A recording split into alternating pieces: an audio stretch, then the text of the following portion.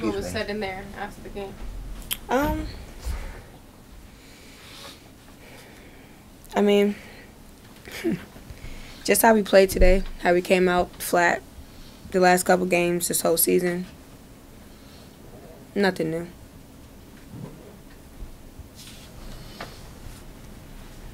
Tynice, I guess just you know heading into the conference tournament, is it at least refreshing to know that it's a new season, you guys can turn the page and I guess kind of control your own destiny in that regard?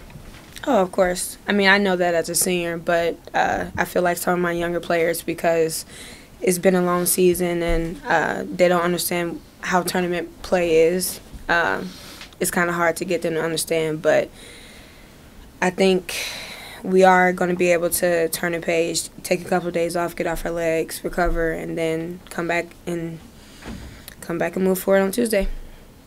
Tony, I know you didn't really guard her individually, but uh, Heard for TCU, how much of a matchup uh, problem can can she be uh, for your defense? I mean, obviously she had 26 points. Um, she can score at all three levels. She got to the paint. Uh, she pulled up. She shot the three ball. I mean, it was just her night. Uh, Ray, she had a good night too, 18 points.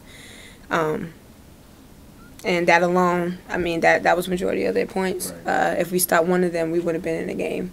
Um, but that's what happens when you don't play defense, when you don't communicate, when you don't match up. It's something that we got to work on. Those problems that have kind of been the consistent, the communication thing, I guess, on defense, has that been like a, a constant? Uh... Sure. I mean, looking at all the games, it's, just, it's pretty much the same thing.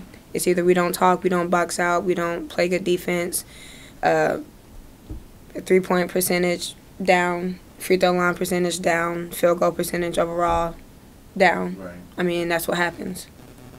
Why do you think that is on defense? Just not playing hard.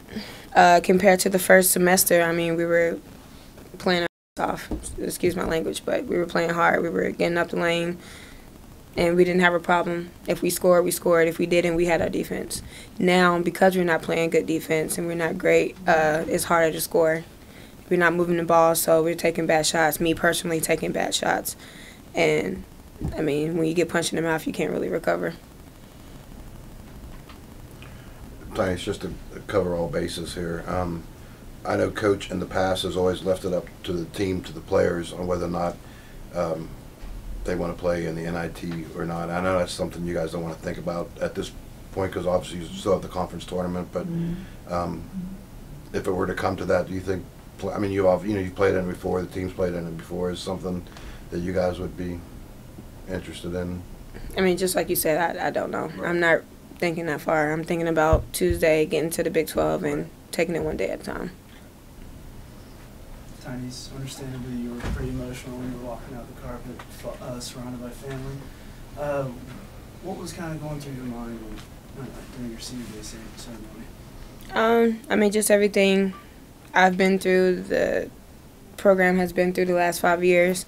Um, seeing how many people came out to support, and uh, I mean, just knowing that that was my last game in the Coliseum with that team uh, because I've been here five years, I've been through a lot of teams, uh, young, old. So just putting that all into perspective at once, and then having my family come up here, and it was just a lot. So, yeah.